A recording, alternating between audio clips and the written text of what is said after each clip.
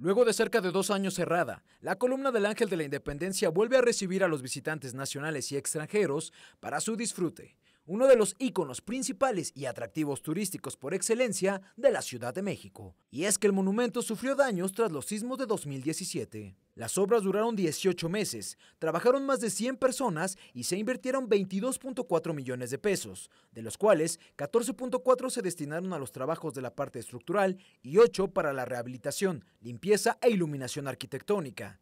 En la restauración trabajaron el Instituto de Ingeniería de la Universidad Nacional Autónoma de México y el Instituto Nacional de Bellas Artes y Literatura.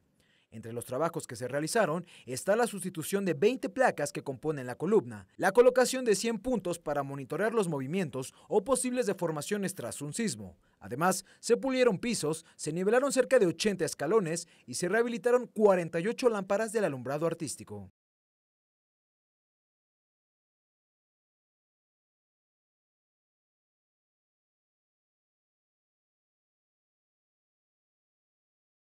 La alcaldesa de Cuauhtémoc, Sandra Cuevas, también invitó a visitar el Ángel de la Independencia. Agradeció al gobierno capitalino por los trabajos de restauración y anunció que en los próximos días se emitirán los lineamientos para que todo el público en general pueda subir. Lo primero es cuidar nuestros eh, nuestros espacios que son culturales, nuestros espacios que son históricos, hay que preservarlos, hay que cuidarlos, entonces por eso hay que dictar esos lineamientos para que todo sea en orden y con disciplina.